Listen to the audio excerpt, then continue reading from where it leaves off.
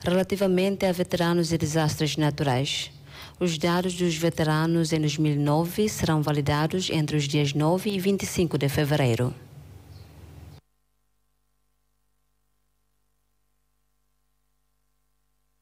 O secretário de Estado para os Assuntos Combatentes da Libertação Nacional, Júlio da Conceição Loro Messac, reuniu-se esta segunda-feira com o chefe do governo, Tauro Matanruac.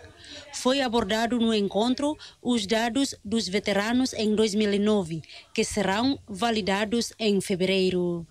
O secretário de Estado para os Assuntos Combatentes da Libertação Nacional vai convidar a estrutura e comissões antes de validar os dados de veteranos. A Secretaria de Estado para os Assuntos Combatentes da Libertação Nacional registrou mais de 24 mil veteranos. Loro Messac afirmou que os veteranos que ainda não foram registrados, as comissões vão verificar novamente os dados. Nuno Moraes, Alessandra dos Santos, RTTL. Hai, telespectadores atuhedan informação atuais no factuais que tal lua inscreva no hanehan botão notificação ou de for comentário no faz tutan para merecer